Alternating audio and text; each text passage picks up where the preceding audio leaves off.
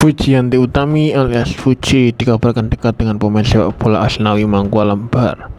Kabar tersebut bermula ketika Fuji kedapatan menonton secara langsung pertandingan timnas Indonesia versus Turkmenistan di Gelora Bung Tomo Surabaya. Meski tidak diklarifikasi langsung oleh Fuji, netizen menduga Fuji tengah menonton Asnawi di Gelora Bung Tomo. Sebelumnya, kedekatan mereka juga disorot saat hadir di pernikahan Pratama Arhan dan Aji Salsa di Tokyo, Jepang. Selain itu, kebiasaan Fuji yang suka menyebut kata bah dianggap merujuk kepada nama panjang Asnawi yang Bahar. Terkait kebiasaan tersebut, Fuji memberikan klarifikasi saat live. Eh, bah itu maksudnya tuh aku sudah senang ngomongin ini, ini dari berbulan-bulan yang lalu lo ya, bukan masalah itu. Teman-teman aku banyak yang dari Medan, Batak, pokoknya itulah.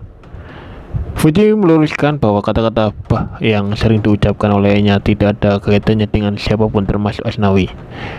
Baru-baru ini beredar informasi bahwa Fuji pergi ke Gelora Bung Tomo untuk menyaksikan pesepak bola Asnawi Mangku Alam Bahar di Surabaya. Asnawi adalah seorang pemain sepak bola yang merupakan bagian dari timnas Indonesia dalam laga FIFA Matchday melawan Turkmenistan. Kehadiran Fuji dalam pertandingan ini pertama kali terdengar melalui media sosial.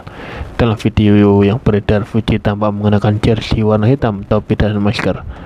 Salah satu temannya Delta SD juga membagikan video yang menunjukkan seorang wanita yang diduga Fuji sedang duduk di tribun penonton menyaksikan Asnawi bertanding. Fujianti Utami alias Fuji dikabarkan dekat dengan pemain sepak bola Asnawi Mangkualam Bahar.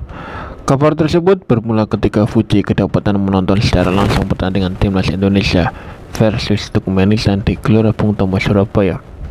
Meski tidak diklarifikasi langsung oleh Fuji, netizen menduga Fuji tengah menonton Asnawi di Gelora Bung Tomo. Sebelumnya kedekatan mereka